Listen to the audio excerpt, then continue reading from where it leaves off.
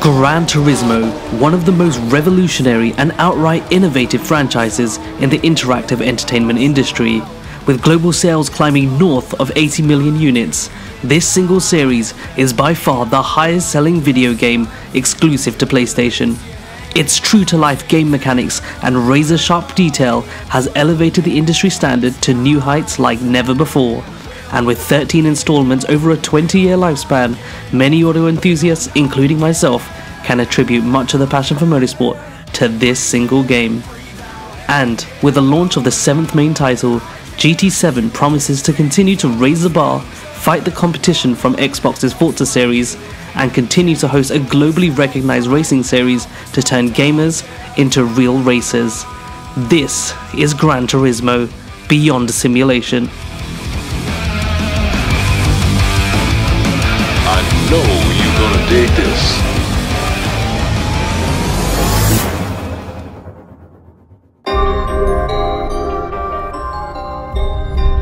This is a story that begins like many in the past. It's a story of driving for perfection, where one man's lifelong ambition is to share a growing yet far fetched community of auto enthusiasts out with the world. It's about a man who spearheaded a revolutionary game design company and is now forever immortalized as a modern architectural great Kazunori Yamauchi. A name that echoes words such as perfection or resilient with every call of the name.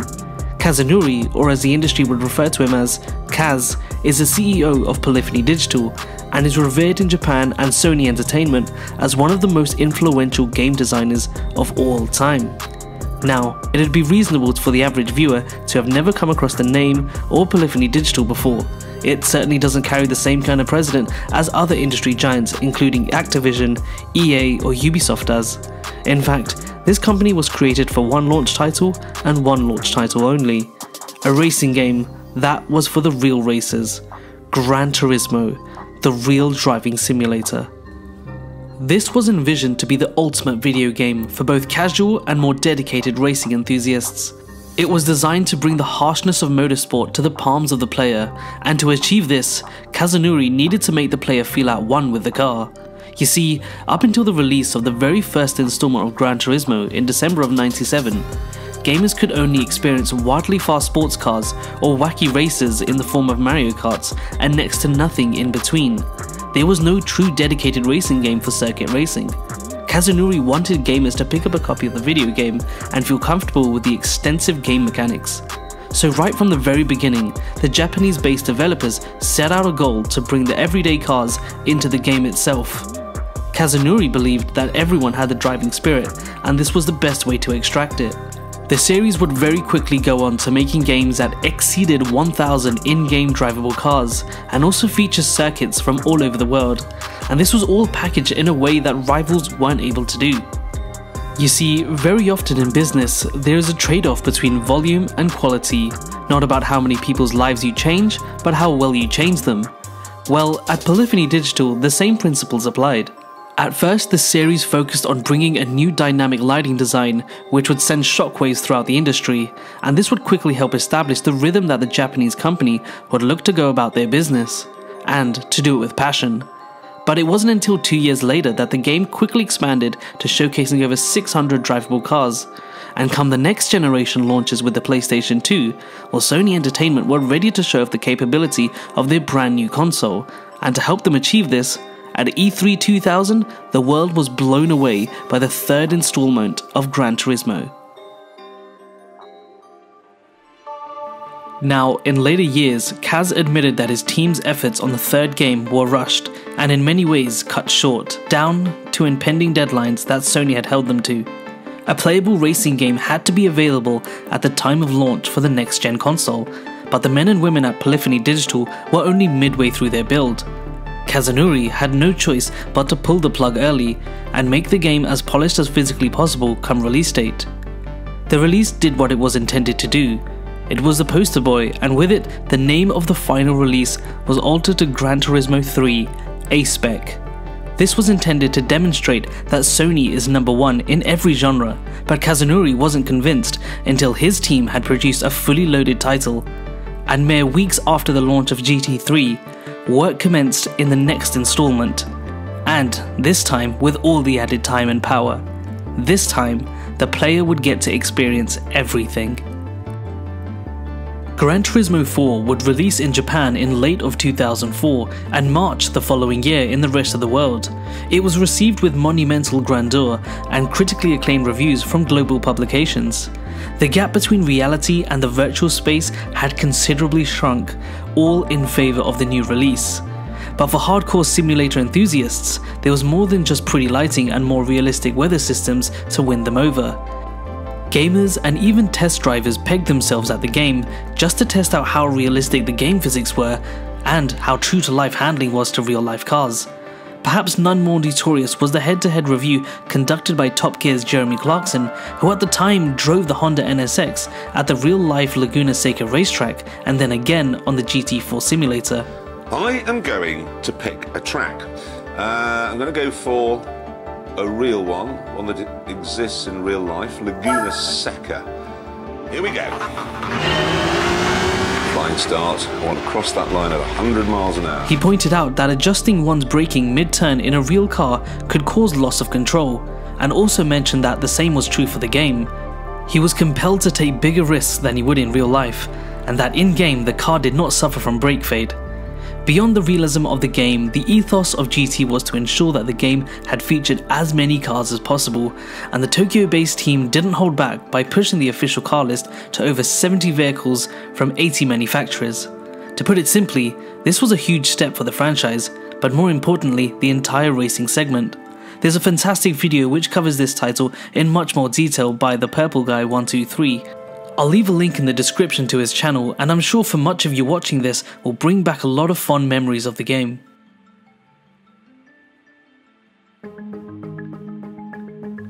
By this point, I feel that the rhythm has been set out by the Japanese firm's productions. Big numbers, unbeatable graphical fidelity, and simulator-esque physics systems.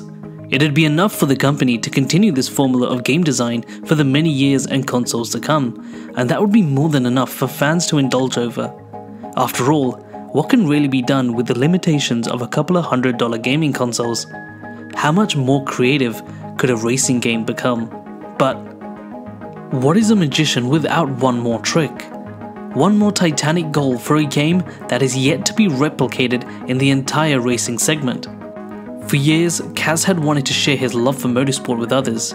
He knew that this was a money talk sport, and now that he had grown a global audience, well, the time was right to reveal his top trumping card. On the eve of a cold winter night in 2007, Polyphony Digital and Nissan's Darren Cox had designed a whole new way to game. They had created one of the most industry disruptive concepts around, and something that probably won't be replicated to the fullest for a very long time. Enter GT Academy. GT Academy was to be the ultimate opportunity to graduate players of Gran Turismo into the real world of racing. Yes, racing.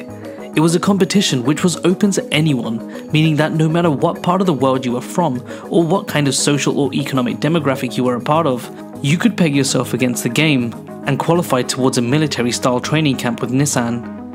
Here, the drivers would battle it out, adopting a fast track approach to motorsport, and then a panel style judging system would go on to select one driver and give them a fully funded season with Nissan's driver development program, as well as an entry into an international racing series against seasoned professionals. Yes, you heard that correctly. A complete novice of motorsport would, in the space of 9 months, go from a gaming chair to starting a professional race.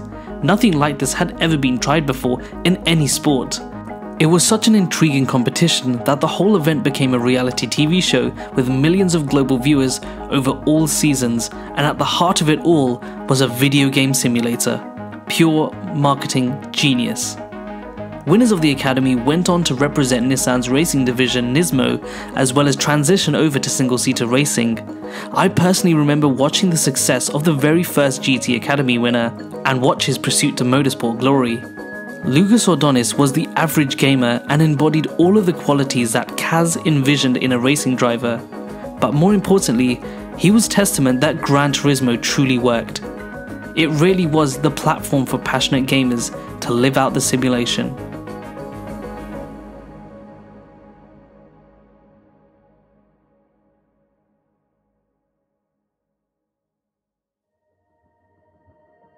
For as long as I can remember, car culture was always about appreciating the craft and the creativity of one another's build.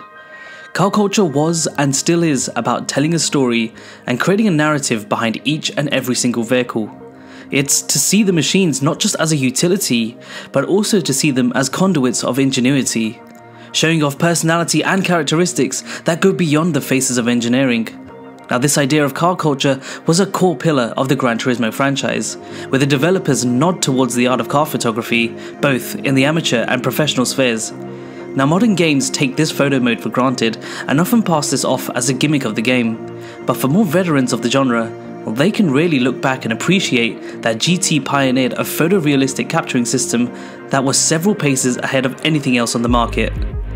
The depth of realism of such a mode gave everyday people a way to learn about different mechanics of optics, range, ISOs, as well as focal length and apertures. Now, I can liken this as an entry level course into car photography, and on a more personal note, it for sure contributed to my own interest into filmmaking. This is actually one of the very first photos I took back in 2010 in the GT5 photo mode on the PlayStation 3. Now I can recall how impressed I was with the bokeh effect around the silhouette of the Maserati and in the incredible depth of detail into the headlights. I can remember instantly downloading it onto the hard drive of the console and then transferring it over to my laptop. This photo, along with many others, was shared with along with my friends who also shared a passion for motorsport. And, well like many other races of Gran Turismo, it sparked our newfound interest into the car racing scene. The immersiveness of these modes allowed any car to be placed anywhere at any time of the day. It was above anything, just amazing. In the many years since I took that very first photo of the red Maserati, I've come across tons of Facebook groups that focus just on showing off the craziest car collections in some of the most peculiar locations, and they were all captured on this one series.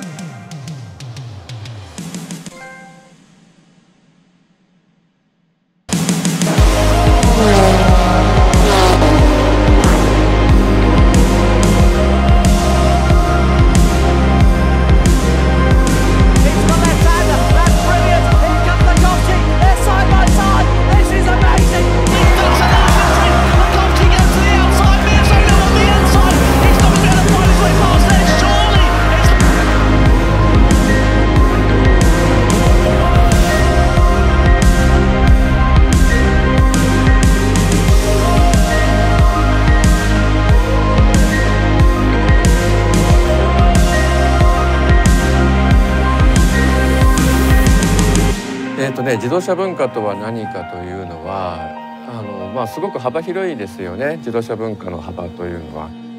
あの車というのは、まあ、工業製品の中では、まあ、最も美しい工業製品の一つだと思いますけれどもあのその車の形の美しさ、まあ、それを愛するというのもカカルチャーでしょうし、えー、と同時にその車は、まあ、自分でドライブすることもできる人間が運転することもできるわけですね。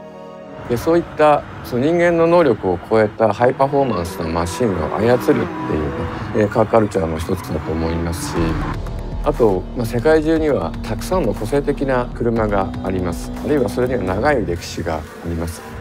でそういった車たちを例えばコレクションするっていうのもねあのカーカルチャーの大事な側面だと思います。でしかも、まあ、その車を例えばチューニングパーツをつけてパフォーマンスを上げたりとかあるいはセッティングを変えて車の動きを変えたりとかあのそういったこともねあの車を楽しむ文化の一つですから、うん、カーカルチャーっていうのは本当にいろんな側面を持っています。あのグラツイスモセブンって、ね、やっぱり総合的なタイトルなんですね。でいろんな遊び方が考えられる速く走る車を集めるリバリエーターでリバリーをデザインする。あるいは写真を撮る。いろんな遊び方ができます。でそれら全てがまあカーライフなんです。